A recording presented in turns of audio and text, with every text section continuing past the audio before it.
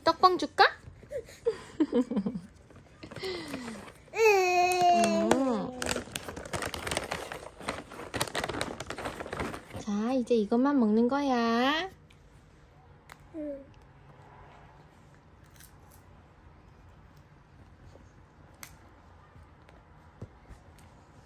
하리.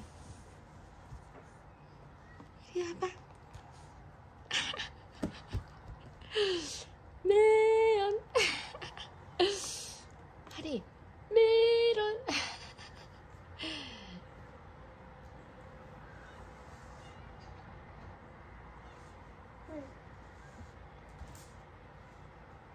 하리야.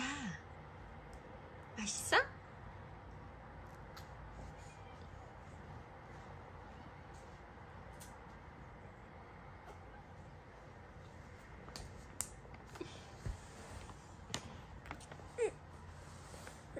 이거 이제 그만. 이제 밥 먹자. 이거 그만 먹고. 자자, 이제 그만 먹어. 저기 갖다 놔. 응.